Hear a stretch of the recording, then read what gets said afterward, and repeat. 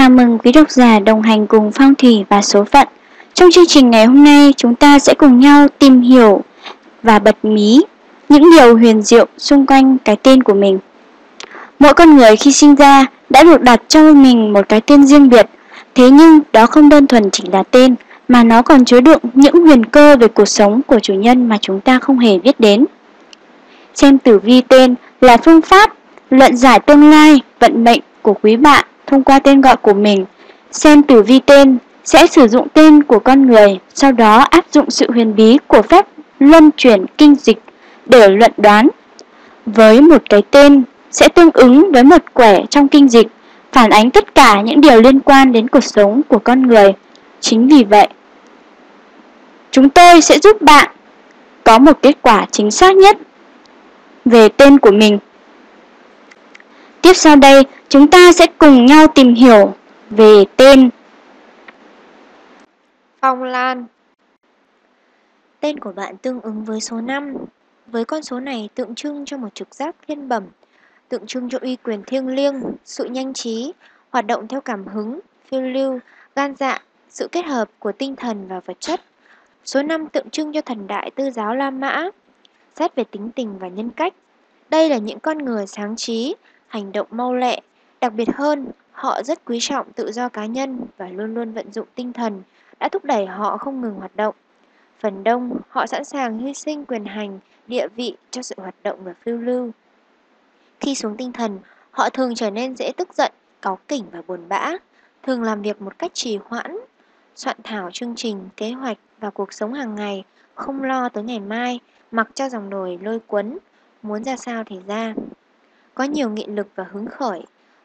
Và tuy thay đổi tính cách nhanh chóng, nhưng họ là những người có sở có sức chịu đựng lớn, rất ít có việc làm cho họ chán nản lâu dài.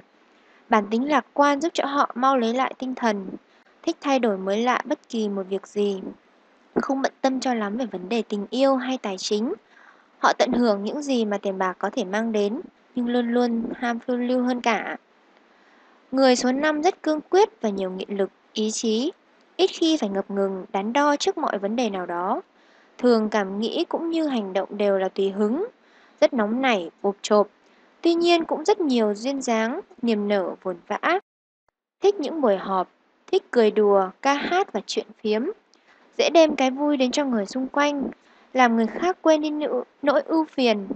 Bị chi phối rất nhiều bởi tinh thần, có óc sáng kiến và thích đem hơn đã áp dụng. Thường được người quen biết mến chuộng, nhưng đối với những người biết rõ họ hơn thì lại giảm bớt sự mến chuộng vì tính cách quá bất thường của họ nhất là khi tức giận và không kiềm chế được bản thân mình.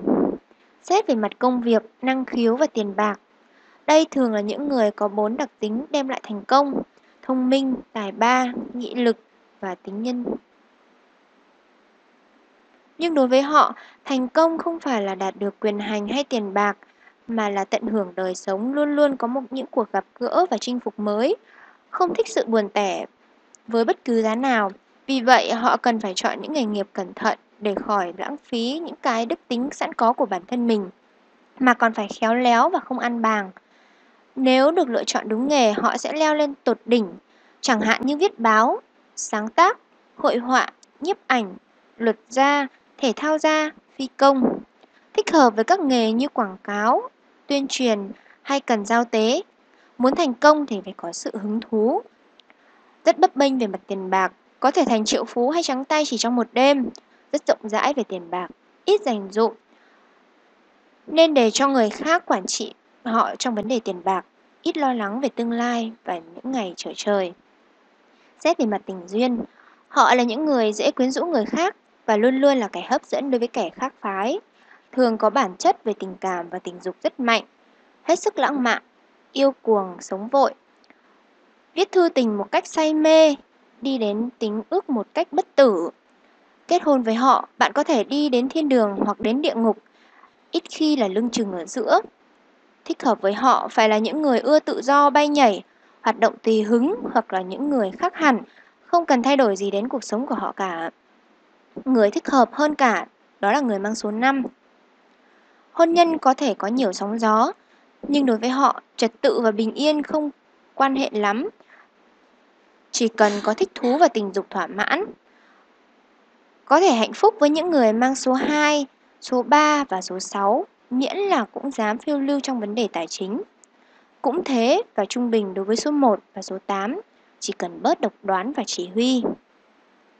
Mời quý độc giả cùng tham khảo các chương trình tiếp theo của Phong thủy và số phận